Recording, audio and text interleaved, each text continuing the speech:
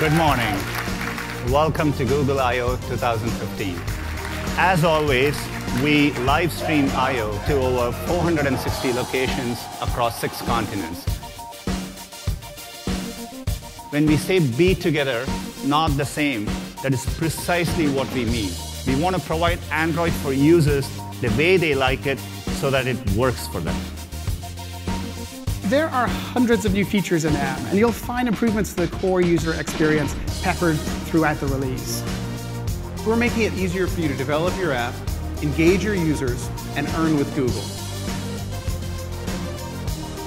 We're giving you the biggest update to the material guidelines since we launched them. Android is not only evolving for mobile, we are taking computing beyond mobile as well.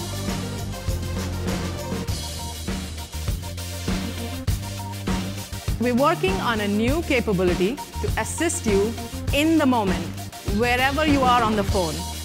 We're calling it Now on Tap.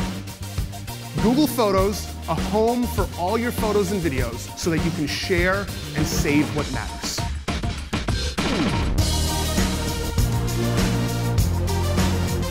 We're launching a new family discovery experience that makes it much easier for parents to find high quality, family friendly content.